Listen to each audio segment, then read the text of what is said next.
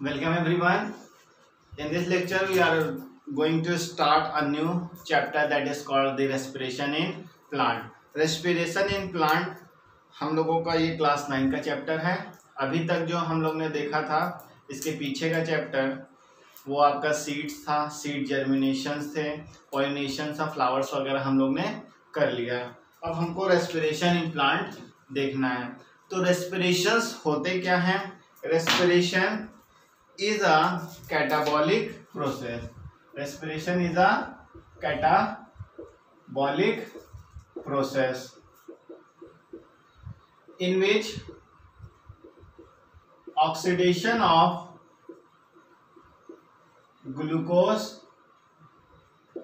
take place. ये समझ में आ रहा होगा। नहीं भी समझ में आ रहा, समझाता हूँ। रेस्पिरेशन एक कैटाबॉलिक प्रोसेस है, जिसमें ग्लूकोज का ऑक्सीडेशन होता है in a living cell in a living cell to release energy energy को रिलीज़ करने के लिए प्रोसेस होता है. क्लियर अब रेस्पिरेशन ये साइंटिफिक टर्म्स थे जो आपको शायद नहीं समझ में आएगा सिंपल टर्म्स में समझिए रेस्पिरेशन एक ऐसा प्रोसेस है, जिसमें क्या है कि जो हमारे जो फूड्स हैं, वो ब्रेक डाउन होते हैं और फिर रिलीज़ होते हैं एनर्जी के फॉर्म में। उसको हम रेस्पिरेशन कहते हैं। Respiration is a process in which the food is get break down and release energy अब यहाँ पे बात हुई है एनर्जी की। What is energy energy is a basic things which require for an organism to survive and their vital activities उसको जीने के लिए, अपनी एक्टिविटीज़ को करने के लिए एनर्जी की ज़रूरत होती है। और एनर्जी जो है कि हमें मिलती कहाँ से है? Energy we get from different sources of food food से मिलता है। That food get digested in the form of glucose and glucose finally release an energy in the form of ATP ATP के फॉर्म में energy निकलती है adenosine triphosphate clear catabolism क्या होता है? कैटाबोलिस और एनाबोलिस दो प्रोसेस है एनर्जी के बनने और बिगड़ने के। तो और इसके, इसको बोलते हैं मेटाबॉलिस मेटाबॉलिस जब एनर्जी बॉडी में होती है तो ये दो होता है। एक होता है एनाबॉलिस दूसरा होता है कैटाबॉलिस ए फॉर हो गया आपका ऐड ऐड मतलब कुछ चीज़ ऐड होना। सी फॉर हो गया कट कट मतलब कटना। तो एनर्जी जब बनती है मतलब जुड़ती है ऐड मतलब जुड़ना तो उसको एनाबॉलिस बोलते हैं। जब एनर्जी कट जाती है, हमारे बॉडी से रिलीज़ होती है, उसको बोलते हैं कैटाबॉलिस तो ऐसे वर्ड को कनेक्ट करिए तो आपको याद रहेगा। तो ये सिंपल रेस्पिरेशन की डेफिनेशन हुई, एक आपको समझ हुई। ये हुआ। अब रेस्पिरेशन जो होता है in a series of physical and chemical process तो फ़िज़िकल एंड केमिकल प्रोसेस में होता है and that physical and chemical process further divided into आ सबसे ये दो सीरीज़ में होता है। एक होता है फ़िज़िकल प्रोसेस में and the second one is chemical process दो प्रोसेस में हुआ। फ़िज़िकल प्रोसेस में होता है आपका ब्रीदिंग केमिकल प्रोसेस में आपका सेलुलर रेस्पिरेशन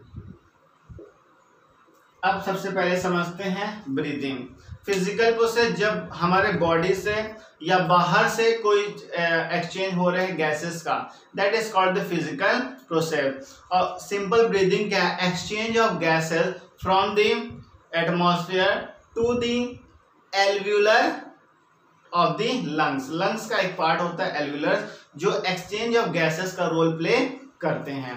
तो वो एक्सचेंज ऑफ़ गैसेस को कहते हैं breathing inhalation and exhalation of gases called the breathing तो ये फर्दर दो पार्ट में डिवाइड है। एक है inhalation and the second one is called the exhalation इसमें क्या करते हैं? In inhalation we take air from the atmosphere clear exhalation give out carbon dioxide air जो हम ले रहे थे, उसमें हमें ऑक्सीजन चाहिए। और give out oxygen from the alveolar alveolar is also called the air sacs उसके थ्रू जब हम बाहर निकाल दिए अपने बॉडी से that is called the exhalation तो this is the simple physical process chemical process, when some chemical, some synthesis is going on, that is called the chemical process and this happens in cellular respiration cellular means related to cell जब cell में हमारा respiration पहुँच जाएगा body के cells में that is called cellular respiration and this cellular respiration is mainly occur in mitochondria mitochondria में होता है और mitochondria is also called the power house of the cell power house of this cell इसी वजह से इसको कहते हैं क्यों जब रेस्पिरेशन यहाँ पहुँच जाता है तो यहाँ पे जो है कि एनर्जी के सिंथेसिस होती है और एटीपी के फॉर्म में निकालता है थर्टी 38 एटीपी पूरे सेल्स में निकलती है तो इसको बोलते हैं cellular respiration and ATP is the energy currency of the cell energy currency of the cell तो energy currency of the cell है ATP is adenosine triphosphate clear तो ये दो प्रोसेस में होता है रेस्पिरेशन आपका। ना रेस्पिरेशन इन अभी हम लोग ने रेस्पिरेशन रेस्पिरेशन ये प्रोसेस कहाँ होते हैं? अब respiration generally occur in plant in which part of the plant respiration occur तो रेस्पिरेशन अकर इन स्टोमेटा सबसे ज़्यादा जो होता है वो आपका स्टोमेटा से होता है। क्लियर और lenticels and the root hair plus pneumatophore stomata जो आपके लीफ में प्रेजेंट होते, वहाँ से होता है लेंटिसस आपके स्टेम्स के आउटर लेयर में। आउटर लेयर और कवरिंग पे रूट हेयर्स जो हेयर्स की रूट्स होती हैं, वहाँ पर जो निमेटोफोर्स ये एरियल रूट हैं। एरियल रूट एरियल रूट्स मतलब जो रूट्स एयर में आ जाते हैं that is called the pneumatophores वहाँ उसमें पोर्स प्रेजेंट होते हैं जनरली मैनग्रूव वगैरह में प्रेजेंट होते हैं। लेक साइड, लेक के साइड्स में जो प्लांट्स होते हैं, वैसे वाले प्लांट्स में जो रेस्पिरेशन होता है वो pneumatophores is a pores present in a plant in an aerial root aerial roots में प्रेजेंट होते हैं मैनग्रूव्स वगैरह प्रेजेंट होते हैं तो ये रेस्पिरेशन होते हैं। कहाँ से रेस्पिरेशन होते हैं? तो जनरल अगर हम लोग बात करें तो हम लोग ने पढ़ा क्या अभी तक? रेस्पिरेशन को समझा कि रेस्पिरेशन क्या होता है? और रेस्पिरेशन से हमने कैटाबोलिस एनाबोलिस एनर्जी का ब्रेकडाउन और उसमें जो एडिशन होता है उसको समझा। फिर उसके बाद हम लोग ने समझा कि एनर्जी एनर्जी क्या होती है? एनर्जी एक सिंपल से थिंग्स होती है जो हमें अपने लाइफ को सरवाइव करने के लिए एक्टिविटी करने के लिए ज़रूरत होती है और वो फ़ूड के फॉर्म में मिलती है। और फ़ूड जो है ग्लूकोज में ब्रेक डाउन होता है और एनर्जी का रिलीज़ करता है एटीपी के फॉर्म में। और फिर उसके बाद रेस्पिरेशन दो प्रोसेस में होता है फ़िज़िकल एंड केमिकल प्रोसेस में। फ़िज़िकल प्रोसेस जब ब्रीदिंग होता है ब्रीदिंग जो है कि आपका फ़िज़िकल प्रोसेस जो हम लोग गैसेस ऑफ़ गैसेस का एक्सचेंज करते हैं इनहेलेशन एंड एक्सलेशन के फॉर्म में।